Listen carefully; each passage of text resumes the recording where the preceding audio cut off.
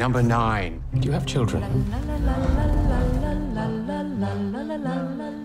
Welcome to Screen Recaps. Today we are going to recapping the movie Vivarium. Gemma, a kindergarten teacher, and her boyfriend Tom, a school groundskeeper, are searching for a new home to start a family.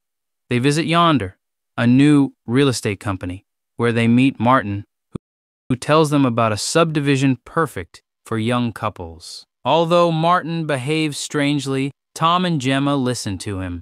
Martin invites them to Yonder, but Gemma is hesitant. Martin insists that the low prices attract more people and the houses could run out soon. Gemma agrees to a quick look, and they follow Martin to Yonder, where they find rows upon rows of indistinguishable houses. Gemma and Tom visit House 9 with Martin as their guide. They explore the rooms but decline Martin's offer of drinks and snacks. Upstairs, they find a nursery and reveal they have no children. Martin imitates Gemma, which unsettles them. When they go outside, Martin vanishes and his car is gone. They try to leave but keep returning to House 9, unable to get reception on their phones. They drive for hours, always ending up back at House 9. Their car runs out of gas, so they reluctantly enter the house and eat tasteless food. The next day, Tom climbs the roof and realizes the houses in yonder seem endless. Tom suggests they head west, following the setting sun until they reach the edge. They walk for hours, overcoming obstacles and staying on course. Exhausted, they stumble upon a house with lights on, only to realize it's house 9 again. Gemma discovers a box of food and supplies outside and calls out to the mysterious deliverer. Tom empties the box and sets fire to the house, hoping for help. They sleep on the curb and wake up to another box. Inside, they find a baby boy who appears to age rapidly. The child mimics their words and demands to be measured. Surprisingly, he's only three months old and cries for breakfast. In silence, the couple joins him to eat. And afterwards, Tom collects their leftovers and trash in a box. Outside, Tom and Gemma sit on the lawn, waiting for the trash collector. Gemma doubts their efforts, as the garbage is never collected when they watch. Tom corrects her, revealing that the boy who always watches them is not human. Tom smokes a cigarette and drops it on the grass, which opens up to reveal dirt. Intrigued, Tom starts digging with a pickaxe, and Gemma joins him. The box of trash mysteriously disappears, but when Gemma tries to tell Tom, he ignores her. That night, the couple gets intimate while the boy secretly watches. The next day, Tom continues digging, creating a large mound of dirt. Gemma is occupied with laundry, and the boy becomes captivated by a strange feed on the TV. Tom and Gemma find solace in their car, as it's the only thing that feels real to them. They accidentally turn on the car radio and start dancing, but the boy watching them trips Tom. In anger, Tom slams the boy onto the asphalt, but he appears unharmed and continues dancing. Later, Gemma tucks the boy into bed and explains that they can't always be with him. The boy calls Gemma his mother before saying goodnight. Gemma and Tom are disturbed by the boy's behavior. The boy screams and begs Gemma to be his mother, but she is disgusted and leaves him. Later that night, Tom is not in the mood for intimacy and apologizes. The next day, the boy wakes them up with screaming, and they have breakfast. Gemma tries to talk to Tom, but he is not in the mood. Tom continues digging and hears a strange sound from underground. At night, he hears the sound again and finds the boy watching TV. Gemma turns it off, but the boy continues watching. Their situation with the boy is becoming more difficult. In the end, they give up and abandon him.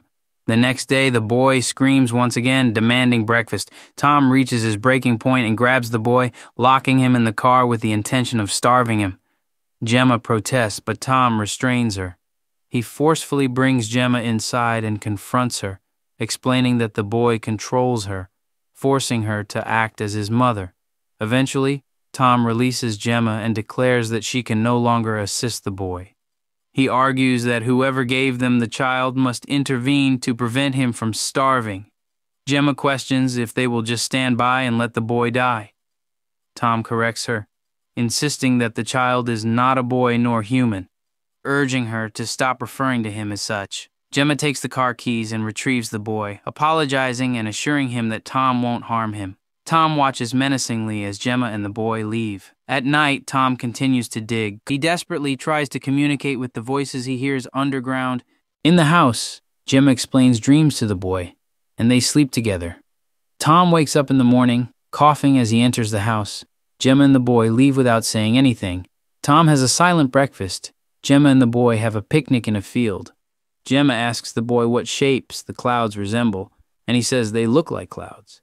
Gemma tells him that outside of yonder, clouds come in different shapes. At night, Gemma cries in bed while Tom sleeps outside.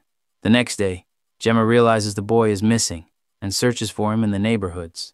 She finds him by the hole, where he gives her a book without answering her question. Gemma discovers a book filled with strange symbols and diagrams about humans. Tom refuses to sleep in the house and develops a coughing fit from sleeping in a hole. Gemma talks to a boy who reveals he met someone but can't say who or what it was. She invites him to play pretend, and he mimics Tom and Gemma before growling and producing an ungodly sound. Gemma is terrified and cries, wanting to go home, but the boy tells her she's already home. Time passes, and the child grows into a man. Gemma serves him dinner, and he questions why she is still polite to him. He wonders if she is afraid of him, but Gemma is unsure. She then takes food to Tom, who is locked in their bedroom. They eat together, and Gemma expresses regret for not allowing Tom to kill the man when he was young. After their meal, Gemma cleans Tom in the bathroom, noticing his bruises. Later, Gemma plans to follow the man, but he seems to disappear and reappear, making it impossible for her to keep up. That night, Tom discovers a bag with a body inside while digging. Terrified, he calls out to Gemma, who responds. Gemma races desperately towards the sound of Tom's voice. Finally reaching him, carrying him back to their home, she discovers the door locked and pleads for entry, but the man inside ignores her. They are forced to spend the night in their car. The next day, as the man leaves, Gemma begs him for help as Tom's condition worsens. With a smile, the man suggests it's time to release Tom. Leaving them behind, Gemma cradles Tom on the sidewalk, remembering their first meeting and how he found comfort in her apartment. Tom closes his eyes and stops breathing. The man returns with a box containing a body bag for Tom. Overwhelmed with grief, Gemma breaks down, and the man cruelly imitates her sorrow. He places Tom in the body bag and throws him into the hole Tom had dug. Gemma waits for the man to leave the house and attacks him with a pickaxe, but he dodges and crawls under the sidewalk. Gemma follows him and finds herself in a strange red tinted living room with a different boy watching TV. She goes to the kitchen and finds a sobbing woman. The floor opens up and Gemma falls into a bedroom where a couple is having intercourse and a man is applauding. She sinks into the floor again and finds a dead man in the tub.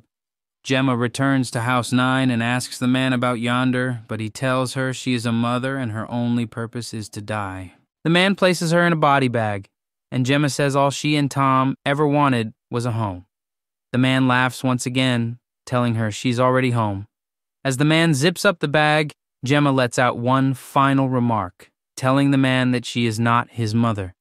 The man then drags Gemma down the stairs before throwing her into the hole with Tom. He covers up the hole, gets Tom's car, and drives out of yonder. He arrives back in town to Yonder's small office and finds Martin waiting for him. Martin has aged dramatically, barely able to move. Martin hands the man his name tag and the man gets a body bag from a drawer and places Martin inside. The man then folds up the body bag with Martin inside, and it crunches up, fitting into a drawer. The man then sits at the desk, waiting for another hopeful couple, eager to take them to yonder. I thought I